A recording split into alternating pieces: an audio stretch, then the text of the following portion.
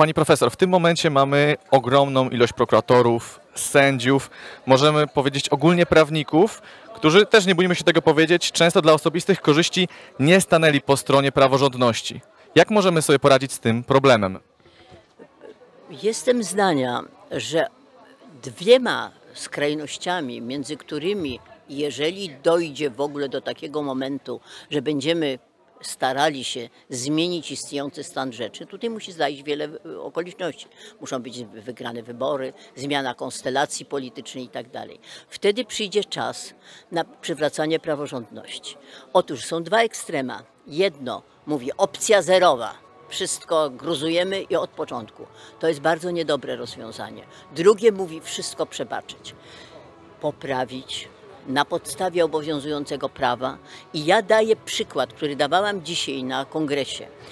Gra w bierki polega na tym, że bierze się wiązkę patyczków, rzuca się i później się wyjmuje, trzeba rozebrać tą całą kupę tak, żeby ta cała kupa nie drgnęła. Otóż przywracanie praworządności w sytuacji, do, kiedy do tego dojdzie, będzie dokładnie na tym polegało. Jak rozebrać te patyczki, żeby się kupa tych patyczków nie rozsypała. To wymaga po pierwsze nie jednego aktu, tylko całej serii działań, zarówno normatywnych, jak i o charakterze organizacyjnym, to wymaga odpowiedniego przygotowania i odpowiedniej przede wszystkim, uwaga, sekwencji działań. To jest niesłychanie ważne. Jeżeli Pan by mnie zapytał, jaka to jest sekwencja działań, odpowiadam, nie wiem, bo kiedy ten moment przyjdzie, to zależy od, od wielu czynników, których w tej chwili nie możemy przewidzieć.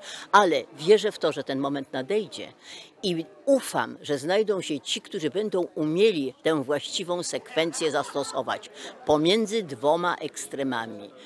Nic nie robimy, opcja zerowa. Musi być na podstawie prawa i uwaga, standardów demokratycznego państwa prawa wspólnych dla nas i dla Unii. Czy możemy jeszcze wrócić do tego systemu sprzed 2015 roku, czy to już jest niemożliwe?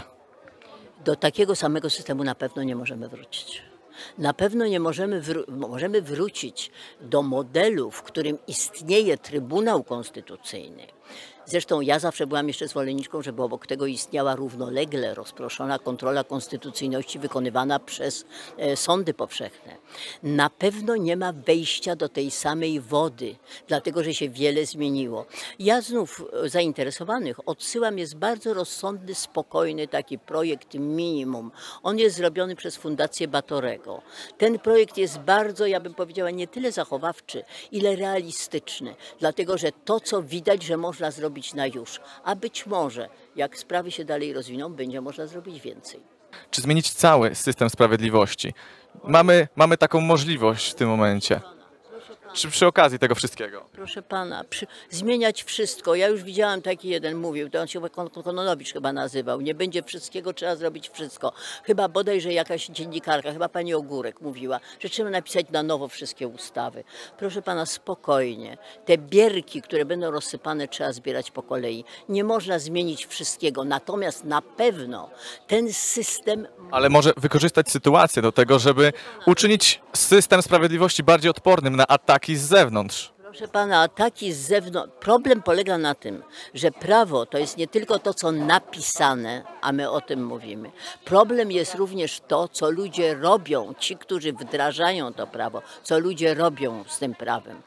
U nas nasz kryzys, którego jesteśmy świadkami, w dużej mierze zależy nie od tego, jak prawo jest napisane, tylko to, co ludzie zrobili z tego prawa. To jest czynnik ludzki. I to, co ja ciągle powtarzam, powtarzałam i dzisiaj.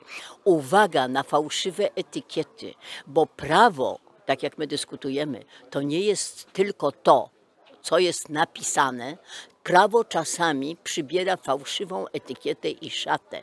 Wtedy to nie jest prawo, o którym mówimy. Odróżniać jedno od drugiego. Dlatego, jeżeli Pan mówi zmienić system prawa, to ja powiadam, odwrzucić fałszywe etykiety, wzmocnić czynnik ludzki i po kolei spokojnie załatwiać to, co można załatwiać zmianami normatywnymi.